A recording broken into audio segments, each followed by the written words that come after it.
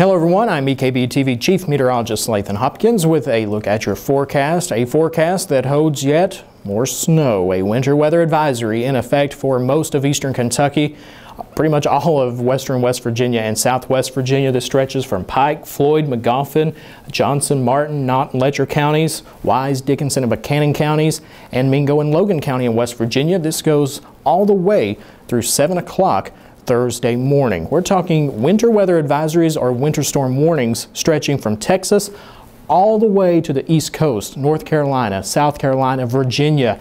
These folks not used to picking up a lot of snow, but that will be the case. That's going to be the forecast for those uh, regions from northern parts of Alabama, uh, Georgia, Mississippi, even into North Carolina and South Carolina, where they're expecting five to eight inches of snow and even three to six along the coastal regions of Virginia. Back here at home, we're talking a dusting to one inch of snow from West Liberty even over toward Paintsville and Inez. The farther south you go from Prestonsburg, Pikeville, uh, down toward Jenkins and Whitesburg, one to two inches of snow. And then the farther south you go into southwest Virginia, wouldn't surprise me to see a three, maybe even four inch snowfall total by the time we wake up Thursday morning.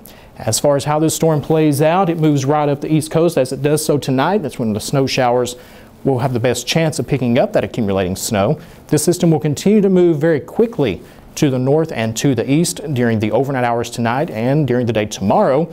But another system will be moving in for Thursday and uh, Thursday night. This will keep a chance of snow showers in the forecast all the way through the first part of the day on Friday.